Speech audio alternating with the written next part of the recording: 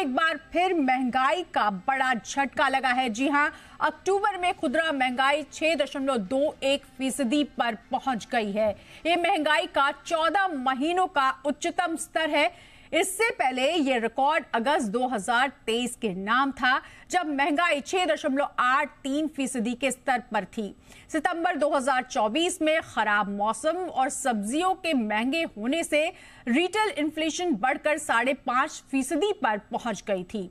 अक्टूबर में भी खाने पीने की चीज़ों के दाम में उछाल दिखा, जिसके चलते महँगाई दर में एक्सपर्ट के अनुमान से भी अधिक उछाल दिखा है।